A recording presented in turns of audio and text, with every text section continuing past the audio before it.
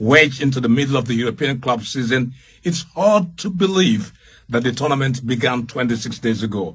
Yet so much has transpired in that time, including whittling down a field of 32 teams to just France and Argentina, who met today in the finals at the iconic Lusail Stadium. Many would have expected France, the defending champions, to be here but with Argentina having suffered an upset to Saudi Arabia in their opening game, their rally to reach a second World Cup final in eight years is more of a surprise. This was the greatest individual matchup we have ever had in a World Cup final. Two world-class superstars and club teammates at PSG, as well as adding to the drama, the greatest player of all time, Messi, against heir to his crown, Kylian Mbappe.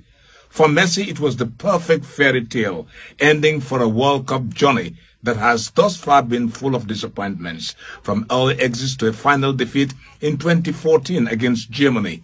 For Mbappe, it was another piece of history made. At 23 years old, he was the second youngest player after Brazil legend Pelé to win back-to-back -back World Cup finals. Argentina entered the final determined with a will to win, spearheaded by Lionel Messi, they won most of the possession, controlled the midfield, and raided the French defense continuously. In the